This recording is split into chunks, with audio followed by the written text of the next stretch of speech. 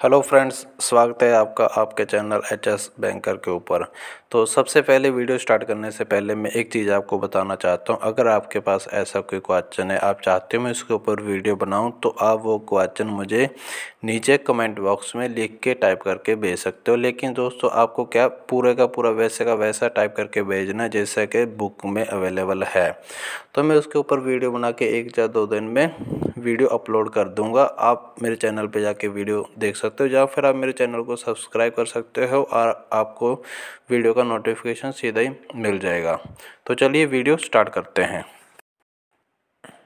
सबसे पहले हम यहाँ पे कमेंट को पढ़ें सॉरी मैं क्वेश्चन को पढ़ेंगे। क्वेश्चन है a certain amount of money is to be divided among P Q and R in the ratio of 3, 5 and 7. If the amount received by R is 4000 more than the amount received by Q, what will be the the total amount received by P and Q P और Q का amount हमें पता करना है इनके द्वारा कितना receive किया गया। इनका जितना भी इन्होंने रिसीव किया उसका रेशो हमारे पास दे रखा है।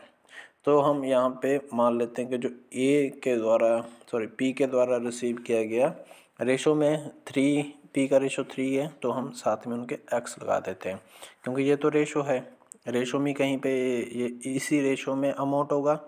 या तो इनको तीन रुपये, पाँच रुपये, सात रुपये मिले हैं, या फिर इंटू टू कर दो सभी को। सिक्स दस और चौदह ऐसे मिले इनको। मतलब समथिंग इंटू में है इनके।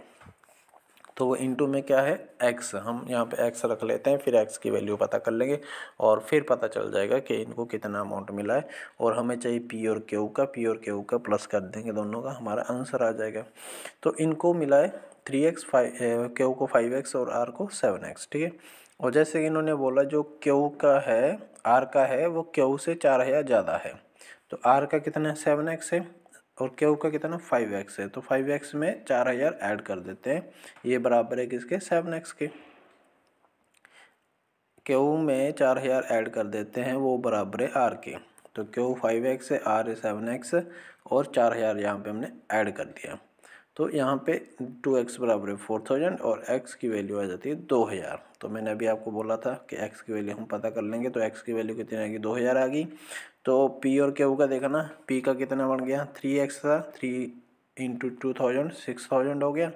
और क्यू का फाइव एक्स था तो five into two thousand equal to ten thousand.